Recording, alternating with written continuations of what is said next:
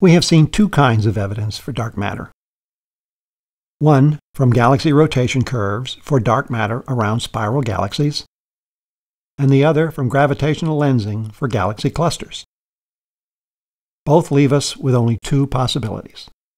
Either our current theory of gravity just doesn't extend to galaxies and or galaxy clusters, or most of the universe is made up of one or more unknown substances that interact with normal matter via gravity, but not much else.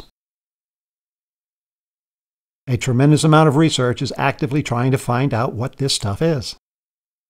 Here are some of the possibilities.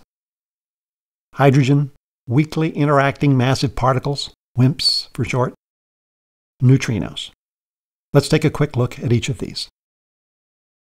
Here's a European Southern Observatory artist's representation of the distribution of dark matter around the Milky Way galaxy.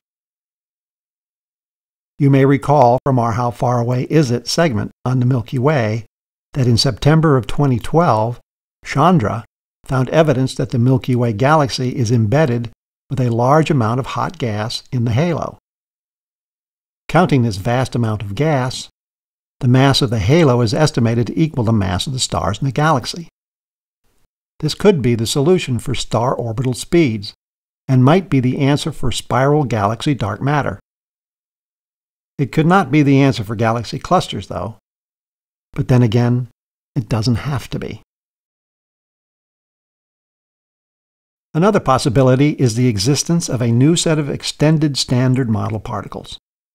There are a variety of theories that predict WIMPs. In late 2015, the Large Hadron Collider at CERN came back online after a two year upgrade. It can now reach 13 trillion electron volts, almost double the collision energy before the upgrade. At this level, it might be enough to produce a WIMP. Of course, the particle would not be detected because it wouldn't interact with any layer of the detector. However, it would carry away energy and momentum, so physicists could infer their existence from the amount of energy and momentum missing after a collision. You may remember from our How Small Is It elementary particle segment that this is exactly the same way Ellis and Wooster found the neutrino back in 1927. This brings us to the last possibility we'll cover. In our discussion on elementary particles, we found that the neutrino is a critical component in many nuclear reactions. And the detection of solar neutrinos and of neutrinos from supernova 1987A marked the beginning of neutrino astronomy. Over the life of the universe, countless numbers have been produced. There are over a billion times more abundant than the electrons, protons, and neutrons that make up stars, planets, and people.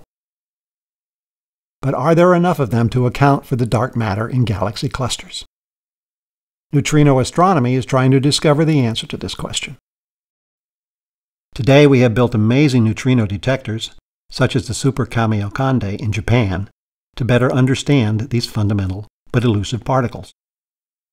The Super Kamiokande is located 1,000 meters underground in a Japanese mine.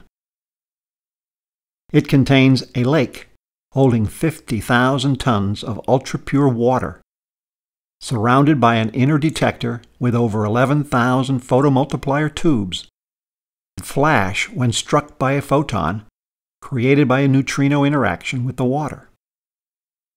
The speed of light in water is slower than the speed of light in a vacuum. A neutrino interaction with the electrons or nuclei of water can produce a charged particle that moves faster than the speed of light in water. This creates a cone of light known as Cherenkov radiation. This is the optical equivalent of a sonic boom. The Cherenkov light is projected as a ring on the wall of the detector and recorded by the photomultipliers. With so much of the scientific community searching for an answer, we can expect to know if neutrinos, WIMPs, hydrogen, new gravitational theories, or something else can explain the movement of stars around galaxies and galaxies around clusters.